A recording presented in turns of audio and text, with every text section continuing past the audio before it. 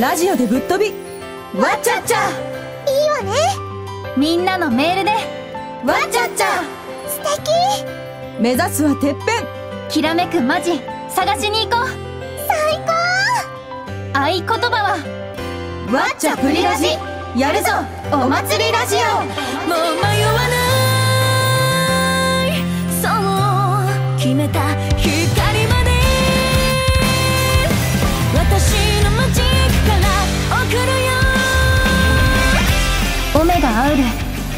よりも素晴らしいラジオができるプリマジスタワッチャプリマジオメガアウル役の藤寺みのりです。Please 私のためにプリラジ聞いて。わっちゃプリマジジェニファーすみれソロ役の青野佐穂です。どんなラジオがいいかしら？ワッチャ重点完了しました。今回のラジオは5回目。オメガが配信するウェブラジオ。わっちゃプリマジタントちゃんメガネ縦島役の伊藤かなえです。3人一気に聞けるの贅沢贅沢ね。えーこの番組は、ワッチャプリマジのみんながワッチャッチャとお祭り気分でお届けしていきます、今回の担当は私たち3人です。はーい。えー、揃いましたね。3ま人。したね。オメガが配信する。ウェブラジオ。オメガはじゃあもうちょっと足りないね。オメガ。そうですね。メンズはね。メンズはちょっと。足りないですね。メンズはちょっと足りないですけど、ね、集まれたのがまずすごい気がする。そうですね。こうやってなんか3人でおしゃべりするっていうのもスタジオもなんか分散収録だったので3人で収録で集まることはあったけどなんかこうね。空き時間でおしゃべりするってなかなかそうですね。できなかったから、えー、嬉しいです。あ私も嬉しい。嬉しいです。しかも今回が5回目ということで、今まで第1回から第4回ね、みんながバトンをつないでくれて 我々がやるということで、皆さんワッチャをね、そうワッチャをなんですよね。集めてる？貯めてる、ああげてる？あげてる。プレゼントなんだ。あげてるんですね。そのワッチャをみんなでもね見てこれ回を重ねるごとに第1回が2706でしょ？第4回どうなっちゃう？え1万ワッチャ。1万？一万ワッチャですね。ぴったりとかいくの4倍5倍ぐらいですよね最初の。えじゃあ私たちこれを上回っていかないとそうですね。何？どのぐらい？億とか？大きく出ましたね。とりあえずさ3人が集まれたことでもう何ワッチャかもうなんかみんな私たち上げ合えるんじゃない？確かに。5000は上げ合えるな。確かに。結構レアですもん レですよ。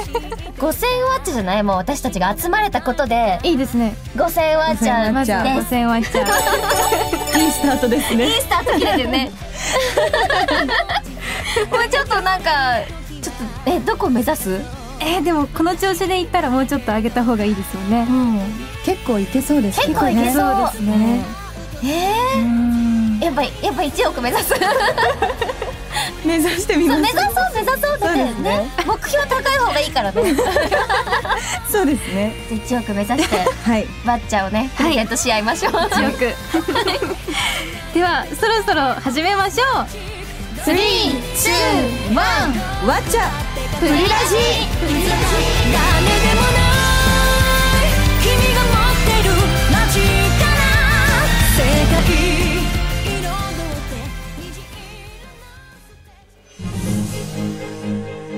ここからはみんなからもらったメールでわっちゃっちゃしましょう。はい。はいでは私一発目行かせていただきます、はい。えー白滝さんからいただきました。ありがとうございます。ありがとうございます。ウィンターライブお疲れ様でした、えージェニファーのビリーブが本当に大好きでルックスエテルな直後の演出からのビリーブで涙が止まりませんでしたみのりちゃんは7月、さほさんは12月のライブに初出演、かなえさんも7月に久しぶりのライブ出演だったと思うのですが、その時の心境等を聞かせてほしいです。また、お三方はそれぞれどのように呼び合っているのか知りたいです。皆さんのこれからのご活躍を心から応援しています。あありがとうございますありがとうございありがとうございますえまず、うんそうですねライブお疲れ様でした。ありがとうございます私見てたんですよ。会場で見てたんで、ありがとうございます。すごい、お疲れ様でした。私かなえさん見えたんですよトロッコから。え、で、本 見えました。当あの、2階席っていうのかな、い ?2 階席の1列目で見れて、今今回トロッコね、解禁だったから、そうですね。プリマジのチーム結構ほとんどがトロッコ乗ってくれ、乗ってくれて？乗ってくれて、もう目の前まで来たりとかいろんなルート通ってたね。そうですね。なんかそれで結構目が合うけど、こうライトがすごい強いから、目が合うけど合ってるね、合ってんのって。いう。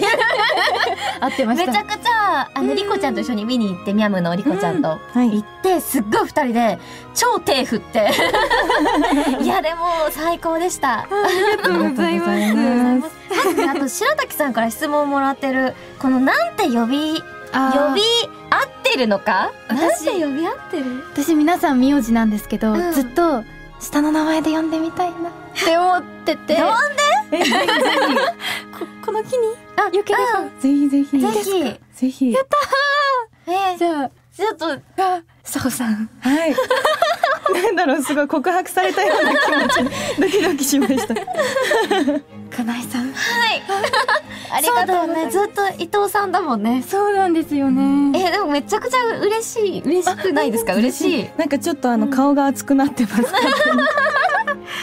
でも私もあの名字で呼んでいるのでなんか。そう、私も青野さんって呼んでて、そうですどよねえ、サホ、サホさんサホちゃん？サホさん？えもう何でもいいですよ。なんかどうしよう。サホやだやだやだ恥ずかしいちょっと待って。本当にあ恥ずかしくなっちゃう。名前呼び合うって。何なんですかねこの初々しい感じ私たちの。えー、サホさん。あ全然なんあでも。え、なんかニックネームとかあるんですか？あ。普段、周りの人から、こう呼ばれてるみたいな。えー、でもうん。友達からはサホって呼ばれるんですけど、ううんちのマミーからあはーマミ？ー。なんかチャーちゃんって呼ばれることが多いちゃんちゃん？どこちゃったのちょっとわかんないんですけど、ちっちゃい時からずっとチャーちゃんって呼ばれてます。そうなので、あの、お好きなようえにでも、マミーはもう特別だから。全然呼び捨てしていただいても、じゃあ、さほちゃんはいで呼ばせていただきます。お。下の名そうで前で。すね。私もじゃあ、下の名前ではい。呼ばせていただきます。すごい緊張する。ちょっと急になんか緊張感が今。はすごいドキッとしちゃいました。みのりちゃんと、い。かなえさんとはい。ご一緒させていただきます。はい。すごい変な汗かいてきちゃった。お願いします。確かに、こう、ワンちゃん。でも結構なカロリー使ったので、えいけますよね。どのくらいだろうどのくらい？でも前回は基本50ワッチャっていうのを書いているので50 10倍はいけるんじゃないでしょうか。甘いですか？500? 500ぐらいいけるいやもっといけるんじゃない？もっといけますか？もっといけるよ。最初のオープニングで基本5000が出ちゃったから、そうです5555だね、今の。あいいですね。いいですね。いいですね。はい。じゃあ。白滝さんにね、あ5555ワッチャこの私たちのこの気持ちを作ってくれたからね、そうですね。呼び合う関係とね。そうですね。5555ワッチャーワはい。プレゼント。はい。おめでとうございます。ありがとうございますでは、えー続いてのうん。メールです。ゆきさんからえ藤寺さんと青野さん先日のプリティライブお疲れ様でした。今回は最多で41人ととても驚きました。プリパラから応援している私にとって嬉しいことでありすごくエモいなと思います。あの頃からどれだけ大きいシリーズになったことか一目瞭然ですね。圧巻のステージにすごく感動しましたがあの大きなステージで歌う時緊張しましたか？本番でのエピソードがあれば教えてほしいですとのことです。ありがとうございありがとうますございます。そうですね。すごい緊張しましたよね。めちゃくちゃ緊張しましたね。そうですよね。私去うんうん。年幕張のステージを客席で見ていて、あすごいー先輩方のキラキラしたそのお姿が本当に目に焼き付いてて、うん。来年私もここでライブするのかななんて思ったらもうドキドキしてたんですけどやっぱりそのリハーサルの時からうん。ステージに立ってみると本当に大きな会場で、うん。この会場で踊るんだってもう本当ににずっと緊張してたんですけど楽屋とかでね皆さんとお話ししてちょっとずつ緊張がほぐれていって本番に臨めた気がします。そうですうん。わかります。めちゃくちゃ緊張しました私も。うん。もうなんか座ってるのもやっとなぐらい緊張してどうしようどんどん出番が近づいてくるみたいな。でなんか初めましての方々も結構いらっしゃったりとかあのそれこそプリマジチーム全員揃ってお会いするのが初めてだったので、あ一緒にっていう。一緒にっていう空間が、なのでめちゃくちゃ緊張してずっと足震えてましたね、びっくりしました。全然わからなかっったです。本当ですか？いやステージに立ってる姿はマジで素敵でした。いやいやありがとうございます。モニターでみんなで見てたんですけど、うんもうもう泣いててみんなで。そうですよね。なんかお昼公演私去ってからみんながずっと泣いてる声が聞こえてきて。ど う何があったんだろうみたいな。したんだろう次が MC だったんですけど、本当にやばいやばいみたいな感じで、お知らせのコーナーがね。そうなんです。間髪入れずだったから、うんうんうん結構そうなんですねよね。なんかでも本当に客席から見ててあのジェニファーが本当にい,、い。て舞台上に。リュウメとの会話のシーンはい。がもう明かりだけというか後ろのモニターも使わずにこう、うんうんうん。こう空の方を見てリュウメと会話するそのさほちゃんが、あもうすごいなと思って鳥肌立っちゃってありがたい。いやーすごかったです。感動しました本当に。いやありがたいですね。でも私だけうん。トロッコ乗ってないんですよ、あそうそうねそうだね。そうでみんながこうトロッコ乗ってわーって言ってるのを下で見ながら、いいな私もトロッコ乗りたいなと思って。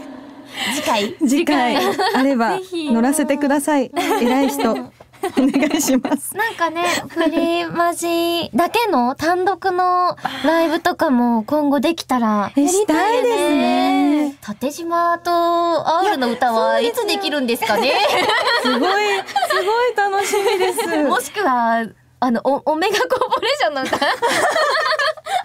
みんな、メンズにも入ってもらって。会社のみんな、社、社か、社の、社の歌。社の歌もみんななんか、朝みんな歌って始めるみたいなやつ。すごい体育会系の会社になっちゃった声出しからって。急に。いいですね。あと今回来られなかったマナマナの皆さんとかもね、うん一緒に単独できたらいいです確かにね。ね。そうだよね。そんな素敵な機会を待っておりますうんうんうん待っております。はい。あ、そうだそうだ、ゆきさん。ゆきさんに、はいワッチャをプレゼント。いえ、いくつぐらいかな？えー、いくつぐらいがいいでしょいやー。でもこのライブの思いを、こうなんだ、思い出させてくれた、この、ねこのわちゃわちゃする感じ。ちゃちゃするこれは高いんじゃないですか？う高いかもしれないです、うん。5000。まあ基本は基本5000なんで5000でも5000超えても、あこあ、来た、降りてき 1, た。1ワッチャだけ増やしましょう。さっきより。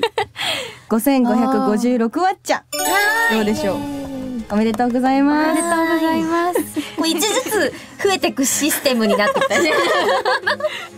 だめだ、1億いかなきゃいけないんだから。え、でも、まだやばいね。バンバン行きましょそうですね。じゃあライブを頑張った二人に、あ。のー、ライブの日付、12月4日。ですかね。12月4日、1204。おー。ずつずつ、ずつ、ずつ、ずつ、やった見に行った私から。えー、嬉し見に行ったいそうですね私にも。かなえさんにも。私にも。見に来てく。ださった。1204ワッチャはい。ありがとうございます。お。渡しします。はい。ではでは続きまして、満点スターさんからいただきました。ありがとうございます。ありがとうございます皆さん、こんにちは。こんにちはこんにちはアニメ51話、楽しませていただきました。ブルーレイも予約したので、届くのが楽しみです。今回のゲストの皆さんは、オメガコーポレーションに関係の深いお三方ですが、アフレコは一緒に収録されましたか？現場での思い出などありますか？とのことですよ。いや、なんかあのー最初にも言いましたけど、組み合わせがいろいろだったので、一緒になる日もあれば、別々の日もあったり、結構ね、あの、絡みが、あの、会話が結構絡みがある人たちがグループになってたので、そうですそうですね、一緒になったりならなかったりでしたけど、私最初に、そのさほちゃんと一緒になった時に、はい。英語の発音が すごくて、英語はい。そのなんか勉強というか、普段から使ってるんですか？普段は、うん。まあ、英語を喋る友達とは英語で喋りますし、えー、そうそうじゃない時は日本語で喋ります。そうなんですそうですね。ね。そうなの？なんか昔うん。ちょっとだけ1年ぐらいニューヨークにいたので、かっこから忘れないように英語あは勉強してます。ーいやでも本当に発音がすごいなぁと思って。ありがとうございます。全然ちょっとすごい裏話なんですけど。私このプリティシリーズずっとやらせてもらっていて、はいこのこの前の世界のメガネがいるんですけど、はい、ちょっとなんかあのナレーションで英語っぽく言うっていうのがあったんですけど超難しくて プリズムストーンチャンネルだけなんですけどちょっとこれ言ってもらってもいいですか？プリズムストーンチャンネルですね。プリズムストーンチャンネル。これかーこれかー5000ワッチャどうぞ。今さほちゃんに5000ワッチャ。ありがとうございいやます。本当になんかなんかさ僕言ってもやっぱ難しいんだよね。なんかでも日本人に難しいものがそれこそプリマジでもそうですし、さっきの言葉でもうん入ってるのでなかなか難しいのかなえどどどどの部分ですか？なんか R プリズムの R とかストーンの R とか。チャンネルの N が続くのが短くなるのでチャンネルになったりとかチャナ。チャンネルになったりするんですけど なんかそういうのが私も行ってから初めて知ったのでへー。難しいんだと思いもうます。今聞いて真似しても違うもん。いやいやいや、絶対誰でもできますよ。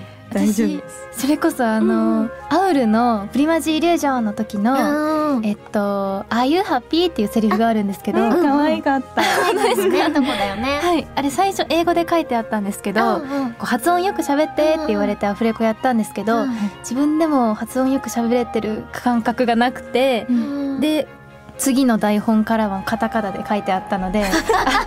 そうじゃないと思うよ。た多分そう多分英語の発音がね難しいなって。一瞬思いまなんか R 自身はどうなんだろうね。だってなんかあその英語とかに詳しいというわけではないでしょ？えってどうどうなんですかね。でもそういう設定あったっけ？頭がすごくいいいっていう設定はあるので、うん英語ペラペラなんのかな？どうなんだろう、へー。えー、でもそこはなんかねか描かれてないからね、うん。そうですね、うん。思い出してる。遠遠く見ちゃった。遠く見ちゃった。みのりちゃん帰ってきて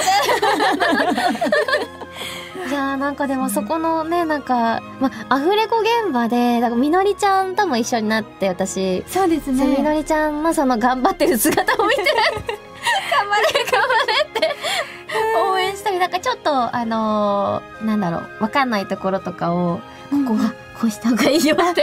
教えていただけて。言ったりとか。なかなかこうなんだろう分散収録だしあんまりこうねこう近くに行ってこうお話しするとかもな、まあ、やめましょうみたいな期間だったから、パーテなんかそうーションとかそうそうパーテーションもねマイクの間に全部入ってて、そうですね。こう顔が見てお芝居できないのもあったりとかもして、うんなんかこうあんまり言ったらあれかなとも思ったんだけど。ああ いやめちゃくちゃ嬉しかったです。そのみのりちゃんがマイク前に立ってる姿を後ろから見て頑張れ。優 しい。ああいうハッピーなところも頑張れ。頑そうだったんです張ね。れい。いな。なんか後半基本ずっと一人だったので。そっか。そうなんですよ。お稽古が舞台のあって、なかなか合わなかったので、なんか皆さん終わってるんだなみたいな。いいな、ちょっとでも会いたいなみたいな感じでした。いつも。遊びに行きましょう。アフレコは終わりましたけど。行きましょうねぜひぜひみんなと遊びに。ぜ 行かせてください。ひぜひ。行きたいですさあ、満点スターさんへのワッチャええー、どうだろうなううんと、満点スターでしょ？名前から名前から入る満点、満点100点 ?100、100万？あれ？ちょっと待って。あれ？100めっちゃ万 ?100 万ワッチャープレゼントおめでとうございますさすが満点スターさん名前からいただきました。ありがとうございます。おめでとうございます。おめでとうございおますめでとうございますここからは特別企画みんなの2023年マジになりたいことを紹介します。おい。では一発目いかせていただきます、霞ヶ浦さんからいただきました。ありがとうございます、藤寺さん青野さん伊藤さんこんにちはっちゃです。こんにちはっちゃ。2023年マジになりたいことということで僕は受験勉強合格にマジになりたいです。うん今年大学受験の年で昔から憧れがあった大学なのでとても行きたいのですが現状の成績ではより一層努力が必須という状況です、えーただ辛い時こそプリマジのみんなが諦めずにジェニファーを取り戻したことを思い出して僕も諦めずに頑張りたいです。うん。素敵なメール。素敵ですね5万ワッチャー。5万ワッチャー。感動したなんかすごい素敵な、素敵なメール。素敵ですね 勝手に5万あげちゃったけど、いいですか？伊藤がはい急に入ってきて5万ワッチャー。みのりちゃんが読んでくれたメールね。いやー、こう感動した、なんかすごい素敵な、素敵ですねね、思い出しつつ。受験勉強受験勉強だって。懐かしい響きですね受験勉強か。私去年うん。受験勉強をしてうん。で大学受験となったらうん。まだ何も考えてはないんですけどうん。2年後二年後になるのであーちょっと親近感というか すごい頑張ってほしいなっていう思いがですねみなりちゃんの受験はどうだったの？この去年の。はいあ 受験ですか、うん受験はまあ頑張った頑張ったね。頑頑張りました頑張ったはい頑張りました。そそんなみのりちゃんに5万ワッチャー。頑張ったみのりちゃんに。5万ワッチャー私からも5万ワッチャー。受験勉強。うん、頑張ってください。頑張ってください。頑張ってください。霞ヶ浦さんに私さっき5万ワッチャーあげちゃったけど、みのりちゃんから。あじゃあ私10万ワッチャおめでとうございます。頑張ってください。頑張ってくださいでは続いてはウール100%さんからです。はい。ありがとうございます。ありがとうございます。えー私が2023年マジになりたい。いやなることはうん。ダイエットです、ダイエット？仕事以外家から出ない生活が続きその仕事も在宅勤務が増えてどんどん体重も増えてしまいました。2023年こそは元の体重に戻します。うん。2022年から少しずつ運動を始めて三日坊主で終わらなかったので2023年から本格的に運動をしていきます。おー。え、でもすごごい、ちゃんと続いているっていうことがもう、だって2022年から始めてい。ますもんね、もうね。そうですね、うんうんうん。ちょっと嬉しいですね、うん。私もダイエットをしながら最近。え、さおちゃんするの？しますします。してるの？えしながら。今はしてるの？今も。あずーっと。ずっ続けないと太っちゃうので。へ続けていて、うんうん。でこの間の舞台でーうんうん筋トレにはまってしまい、すごい。すごい。で毎日やっていたらうん。ちょっと腹筋が6個に割れたんですね、なのでなんかその体を動かすっていう文章にすごく惹かれてあ私も動かしてるよとか思いながらー 一緒に頑張ろうっていう。きついよねと思いながらら読ませていただきましたいやめちゃくちゃきついんですけどうんなんか1ヶ月ぐらいうんうん。なんか無理にでも頑張れば、うんあとはもうずっと続いていくと思うので、へちょっとウール100%さん頑張って一緒にダイエットしましょう。すごい偉いな。私も最近ストレッチポールなるものを買いまして。いいですね。あの大きいやつ。はいはい。その縦に置いて、その縦に寝る？うん。うん寝乗て、上に乗って寝て、だから腕とかをこう動かして、肩甲骨をうん。剥がすみたいなのとかを家でやってるんだけど、そ毎日やるっていう目標だけど、ちょっと危うい。いやいやでもでもなんかたまにね動かすと。でもね、もう買ったってなったから、もう買ったら、うん。結構大きいものが家にドンってあるから、そうですよね。やらなきゃ、目に入るから、あ、やろう、やろうって思って、やってるからウール100%さん私も一緒に頑張ります。2023年から本格的にですもんね、うん。頑張ってください、ん。そんなください。ウール100%さんに私から、うん。まあ運動きついから1000万ワッチャお渡しします。はい。1000万ワッチャ。千万。そうだね。お渡ししますね。みんなで一緒に頑張ろう。一緒に頑張りましょう。頑張りましょう。ではでは続きまして、ピカールさんからいただきました。ありがとうございます。ありがとうございます。ますここ数年、料理上手になりたいなと思っていたのですが、2月に我が家から100メートルのところに料理教室ができるというチラシが入っていました。なので、2023年は料理にマジになりたいです。一人で煮物が作れるようになりたいです。すごい。素晴らしい。100メートルって結構近いですよ近いね。ですね、これもすごいいいきっかけでね、始められて、いいよね。皆さん料理するんですか？お家でどうですか？質問されたのに振るっていう。私最近料理始めてて、うんあの冬休みになってから家に一人でいることが多くて、母親からあの千円札渡されて、はい。これで夜ご飯作ってくださいって言われてなんかミッションだね。そうなんです。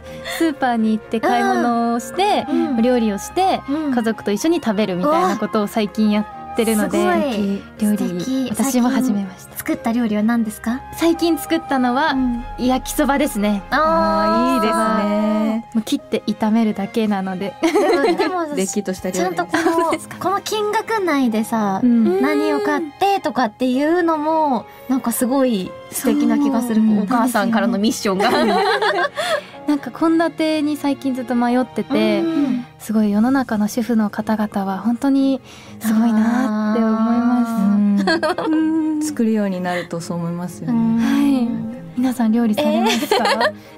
えっと、金井さんするんですか？私ね、なんかすごいざっくり料理なんだよね。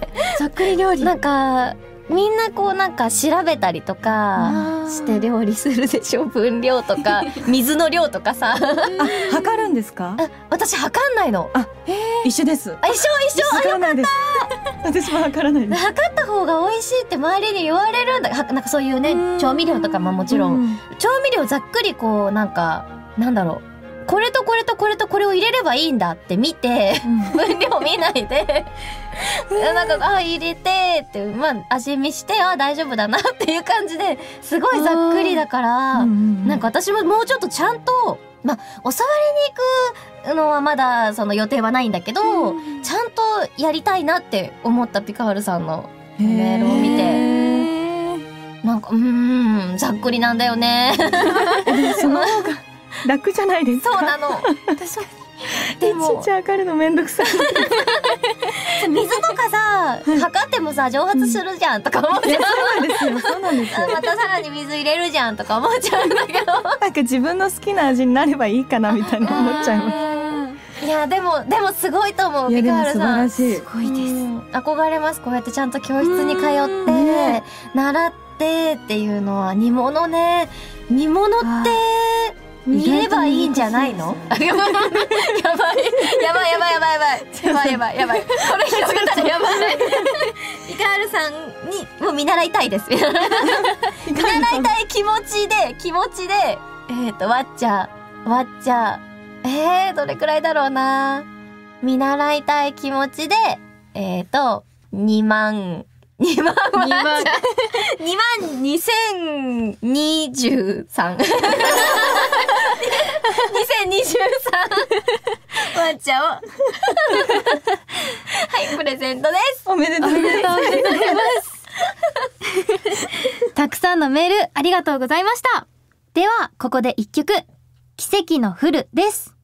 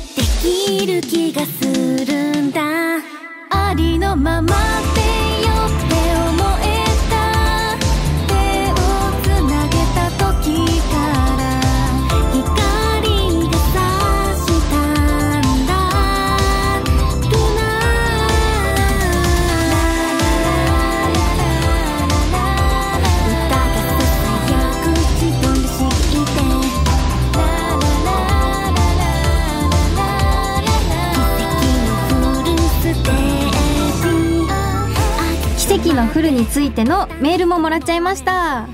モンピーさんからいただきました。ありがとうございます。ありがとうございます。僕の好きな曲は奇跡のフルです、えーサビのありのままでいようって思えた手をつなげた時からや何があっても自分らしくいての歌詞が祭りとアウルの関係性をありのままに歌っていて胸が温かくなりますししっとりと落ち着いたメロディーで耳が幸せになります。先日開催されたウィンターライブで初披露だった際にも曲の良さを再確認しただけではなく広瀬さん藤寺さんのダンスがキャッチーでとっても可愛らしくてアーカイブで何度も見返しました。聴けば聴くほど好きになる曲です。これからもたくさん聴きたいと思います。あありがとうございますありがとうございます。私もこの曲デモで聴いた時からうん。ずっと大好きで、ダンスもすごい本当にキャッチーで可愛くて、可愛いよね可愛かった。ぴょんぴょん飛んだりうんいただきますみたいなポーデがポあー。ズ？があったりとか本当にすごい好きで広瀬さんとあのリハーサルじゃない日とかにも集まってスタジオ借りてあ一緒になんだ練習したりとかもそうなんですしてたのでうん本当にこう緊張しながらだったんですけどうん。楽しくやってあとトロッコ乗る間とかもすごい考えてうん。普通にこうトトロッコに乗るっていう流れだったんですけどうん。2人で集まって目を合わせてうん。こうトロッコを指さすポーズしようとかいうのも話してうん。一緒に決めてやったので私もすごい奇跡のフルは大好きです。二人のオリジナルがいろいろ詰まってたんだね。そうなんです。楽屋で練習してる姿をずっと見てたので。えー、なんかすごいいいな可愛いとか思って見てました。なるほどそうだったんですね。そうなんです。うん私ずっとうん。にじむ香るとかも一人でやってたので、ん。ワッチャプリーズマジックとかも5人曲で皆さんやられてて、うん。誰かと一緒にこう練習するっていうのがこんなになんか幸せな気持ちになって楽しいんだっていうのがすごいありました。いやでも会場から見てて緊張感は全然伝わってこなくて、本当に二人の姿が可愛いな、嬉しい。可愛かった。すごい可愛いかった。ほっぺの,、うん。あのシールとかも100均でいろいろ探してあ2人でいろいろ買ってみて。そうなの？そうなんです、キラキラをつけていて、えー。メイクさんが用意してじゃないんだ。そうなんですそうなんです。いろいろ素敵。買ってきてメイクさんと一緒に決めてうん貼るっていうことを やってました。すごい思いが詰まってるね。はい、うーん。モンピーさんにうん。では。わっちゃどのくらい？五五千万ワッチャ五千万ワッチャ。5000万ワッチャ。行き過ぎか五千万ワッチャ。な。いいですかね。いや、行きましょう。五千万ワッチャです。おめでとうございますだんだん数字わかんなくなってくるよね。あ、まだまだ楽曲のリクエストたくさん来てるので、もう一曲紹介しましょう。愛子さん、さくれさんのリクエストで、Believe。Oh,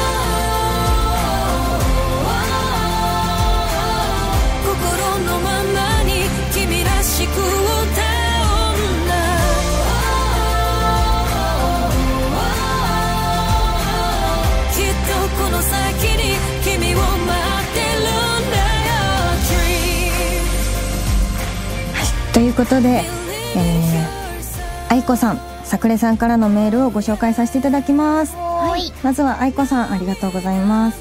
えー私はジェニファーの歌う Believe が一番好きな曲です。13話の祭りと喋れなくなってしまったミャムが向かい合うシーンで、この曲が流れた時にとても感動しました。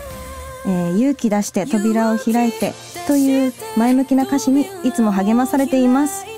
ありがとうございます。ありがとうございます。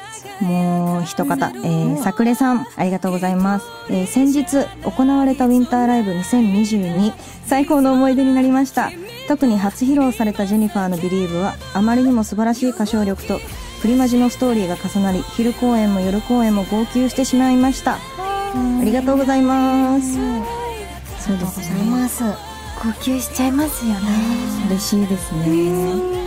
なんか初めて、まあ、アニメの中で出てきた「Believe」って意外と悲しい「Believe」だったというか、まああのーマナマナがいない状態で、リュウメがいない状態で一人でやってたので、なんかそれが最後にこうちゃんとした形の「Believe」になるっていうのがすごい嬉しかったので、ウィンターライブの時もなんかすごい幸せな気持ちになって。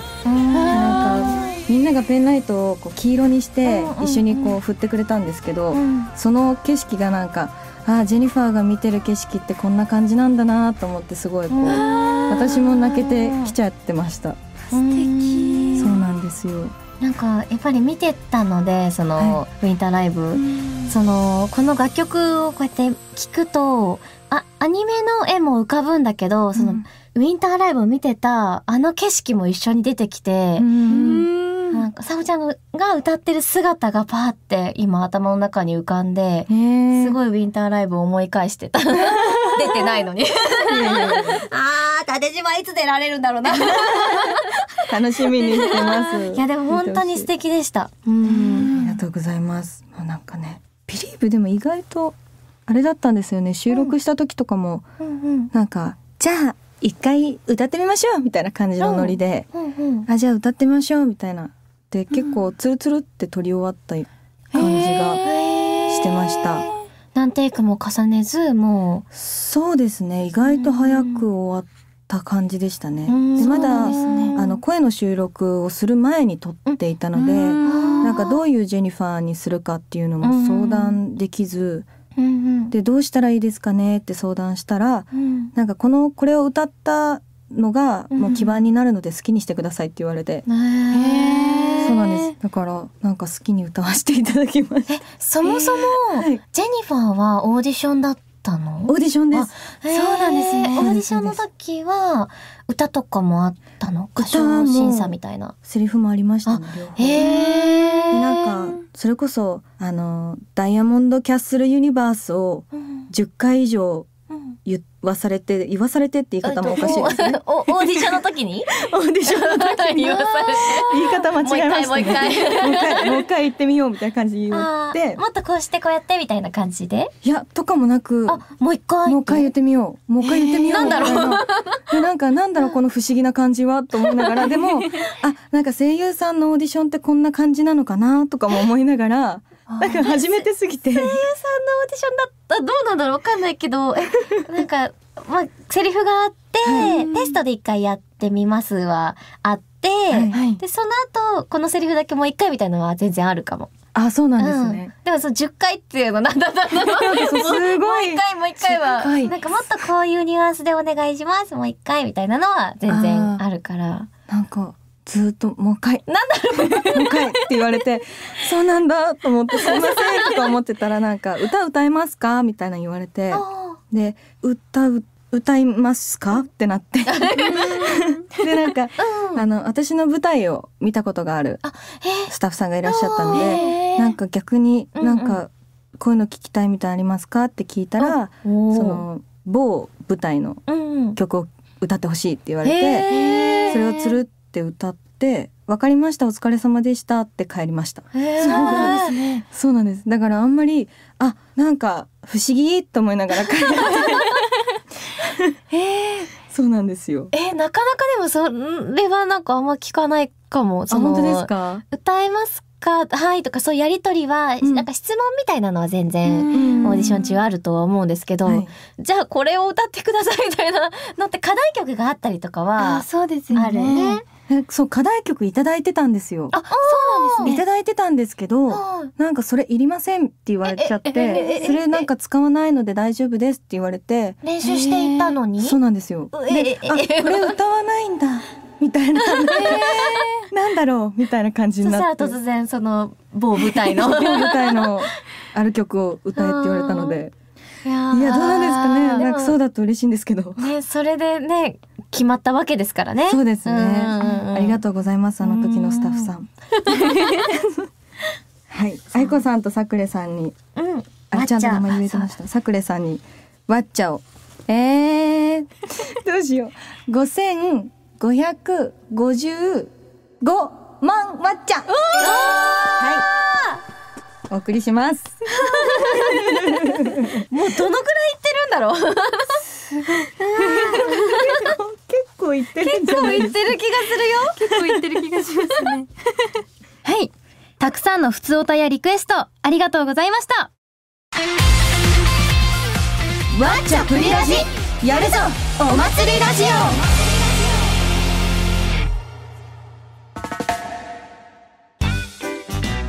続いてはワッチャプリマジわちゃわちゃトーク。えー先日最終回を迎えたテレビアニメ「ワッチャプリマジ」の中でみんなの心をわちゃわちゃさせたシーンやセリフを紹介していきましょうというコーナーです。はでは行きます。い。モウさんからいただきました。ありがとうございます。ありがとうございます。アウルちゃんのファンとしてアウルちゃんが本格登場した24話と25話が印象深いです。いきなり強い言葉を言いその後 ミャムミルキーチムムに絡まれたのも笑っちゃいました。ここから藤寺さんも本格参戦だと思いますがこの時のお話をお聞きしたいです。私本格参戦する前にも何回かアフレコがあったんですけど、うん。その時は少し収録して、うん。その後分散収録なので、うん私の後にも収録する方がいらっしゃって、うん。それを後ろのブースからスタッフさんと一緒に見学とかさせていただいていてそう,、なんです。うんうん。でやっぱり本格参戦するってなるとものすごい緊張してて、うんうん。練習してたことが全然うまくいかなくてすごいセリフを早く言ってしまったりとか、わかる。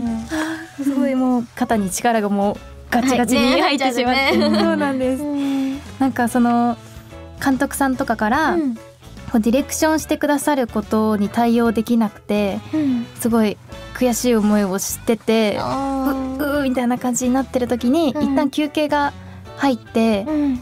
今だから言える話なんですけど、うん。そのもうすごい涙が出てきそうな感じだったんですけどうん。切り替えていこうと思って後半戦も頑張った記憶がすごいありまあーそうだったんだねす。そうなんです。頑張ってたよ頑張ってる姿見てたよ ありがとうございます。いやーモーさんにわっちそうだ、ゃおうモーさんにもバッチャを。うんえー、っと、三千万ワッチャ。はい、三千万ワッチャ。それでは続いて、和則さんからです。ありがとうございます。ありがとうございます。えーひながジェニファーにライバルだと思ったことはないと言われた場面が好きです。その後のかっこ悪の一言。切なくて、それでいて、可愛くて、おじさんの心がわちゃわちゃしちゃいました。マジで声優の皆さんの演技って本当にすごいと思います。ありがとうございます。いや、本当に、うんあの、声優の皆さんの演技って本当にすごいんですよ。本当に素晴らしいんですよ。あの私は普段ミュージカルをやっているので、お芝居は日常的にやってはいるんですけど、また声優さんのお芝居ってちょっとジャンルが違うなと思っていて、なんかもうなんて言うんだろう、もう一緒に収録させていただいてる時から、横からなんかなんていう臨場感なんていう臨場感みたいな感じで あの一応こう、ね、お仕事の現場だからこうスンっていう顔ではいたんですけどなんかもう家帰ってから友達とかマネージャーとかに「やばいよこの現場やばいよ」すごい耳服だよ」みたいな話をしていたのを思い出しました。えー、なんかそんな心がわちゃわちゃしてたなんて全然スッとされてたから 現場で。ね。ジェニファーとしてこう凛とスッとねしてたそうしないとなんかデレデレになりそうで、ジェニファーじゃなくなっちゃうもんね。ファーじゃなくなりそうでちょっと集中しなきゃって感じだったんですけど。そうですね。なんかそのアフレコ現場でさほちゃんがさらりと鼻歌というか口ずさむ歌はい。がすごい素敵だなと思って、なんかワンフレーズだけちょっと歌うところとかって別にこう曲を流してやるわけじゃないけど、あすごい素敵だなって思ってありがとうございます見てました。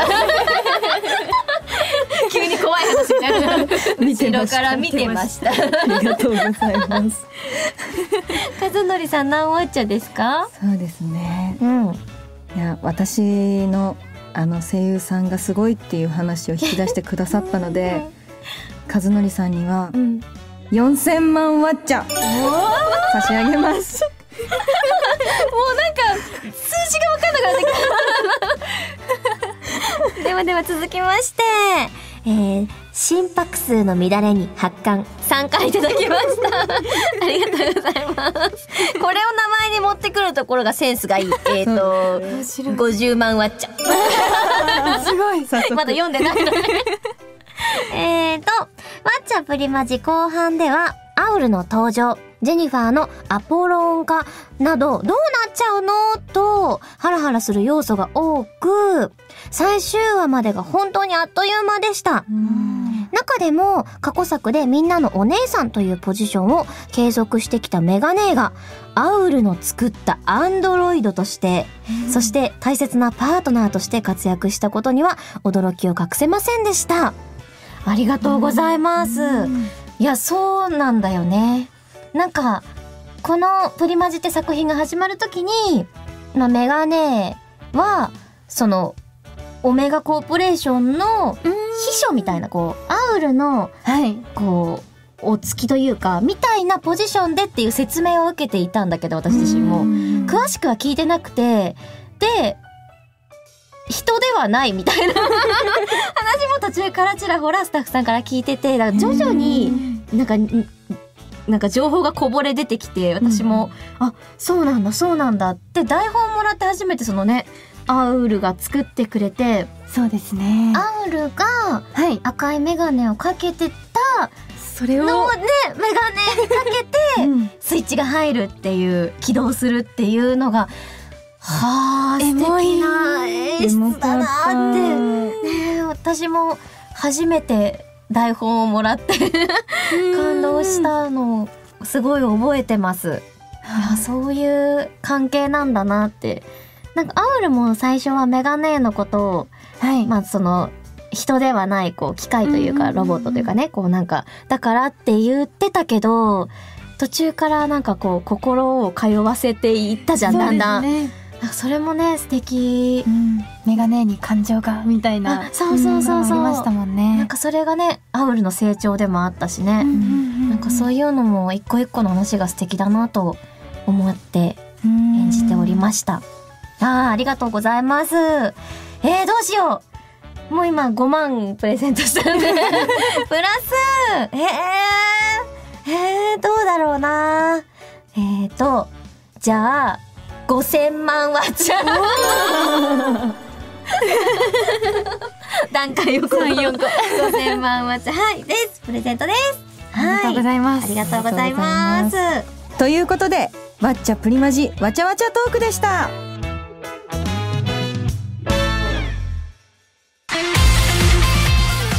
わっちゃプリマジやるぞお祭りラジオ。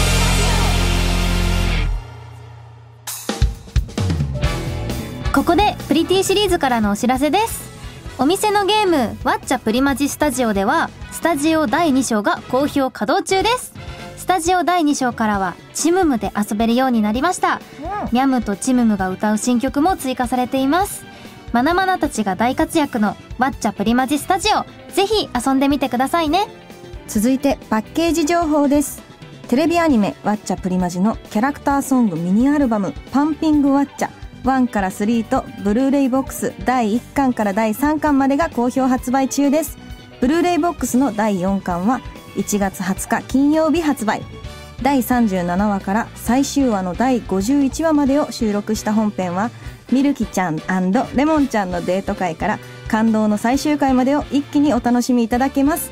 アウルとジェニファーのジャケットが目印ですよ、さらに3月22日水曜日にはプリマジの名シーンが蘇る楽曲たちを一挙収録したアルバム「ワッチャプリマジミュージックコレクション」が発売となりますデラックス版にはアニメ本編の CG ライブシーン全14曲をまるっと収録したブルーレイもついてくる超豪華仕様となっておりますのでぜひチェックしてみてくださいはい、続いてグッズ情報です。1月6日金曜日より丸くじにて、ワッチャプリマジオンラインくじが発売開始。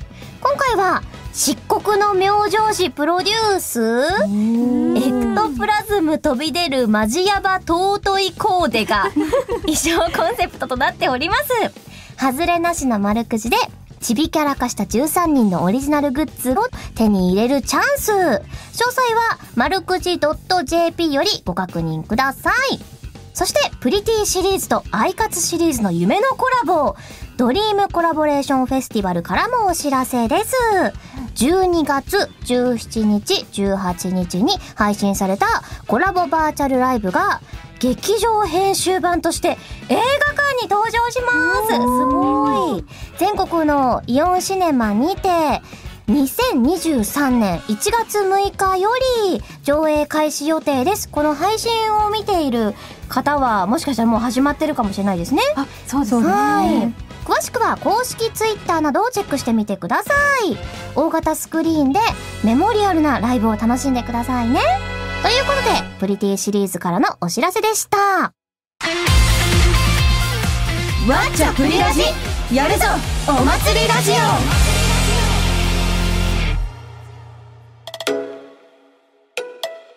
ワッチャプリラジやるぞお祭りラジオそろそろお別れのお時間です皆さんに大好評いただいたワッチャプリラジは今回の配信で一旦終了予定となります。うーん。寂しいですね。うん。いやでも3人でできてよかった。よかったですね。よかったです。みのりちゃんもラジオ初めてなんだもんねっていう話しなかったっけ？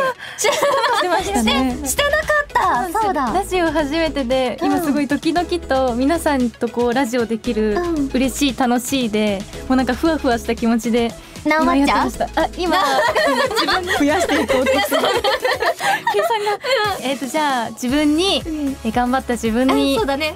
1000万ワッチャ私からも私からも1000万わっちゃうじゃあ私からも1000万ワッチャ3000 万わっちゃプラスされました。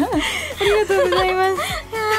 でもね、まあ、最後になっちゃうけどまだまだラジオに出てない子たちはいるから、そうですでね。行ったんだからね、まなまなたちとか？いいですいいですねわちゃわちゃしそう。しそう。楽しみ。魔法界ラジオとさ人間界ラジオとやってほしくない？もう何人でやるんだろう？大変なことになりそう立ったまま収録しなきゃいけないんです。自分の中で。もうそれこそわちゃわちゃですよね。そうお祭りね。あいいですね。お祭りをやりたいね。お祭りラジオお祭りラジオね。うん。ええじゃあそろそろそあれですか？集計き聞きます？お。聞いちゃいます？えいいですか？はい。もうわっちゃんだ出さなくていいよ。